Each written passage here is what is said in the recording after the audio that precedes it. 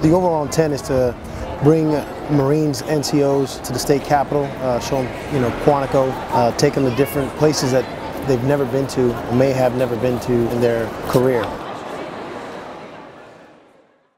Ultimately, our goal is to show them the bigger picture of the Marine Corps, a little something outside of what they're used to. Each one of those locations, they were able to get a tour and a brief on uh, what it is that uh, these facilities support and how they tie into uh, the Marine Corps. Had the opportunity to kind of open their eyes.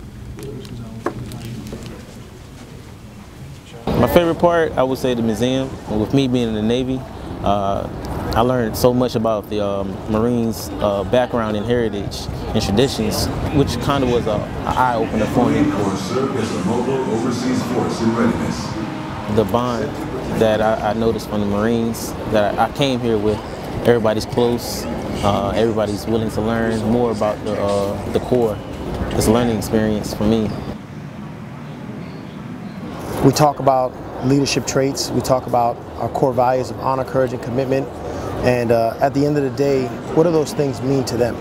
They'll have uh, an opportunity to experience and to see um, the history behind the Marine NCO and what the Marine NCO has done.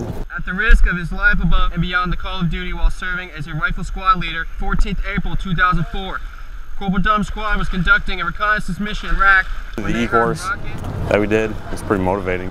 It, it, makes you know the hair on the back of your neck stand up because you know doing the obstacles and I know a lot of people kind of broke them off a little bit, but then you know you get into that Medal of Honor citation that we read, and you know you read that and you know you get the feeling of what they did and the you know the pain and the stress and all that stuff that they went through and you're you're like this don't hurt no more like it, it can't when they went through all that aware of imminent danger and without hesitation Corporal Dunham covered the grenade with his helmet and body, bearing the brunt of the explosion. We've all gotten pretty close. Well, the reason I actually got put on this trip is because I recently just picked up the rank of corporal, and I needed to cohese with uh, my fellow corporals in our unit. So uh, I feel like I've came a lot closer with uh, all the corporals from the different sections.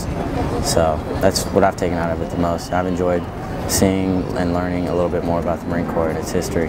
Kind of take some time away from the shop, get to clear our heads, and we get to take everything we've learned back to our junior Marines. So.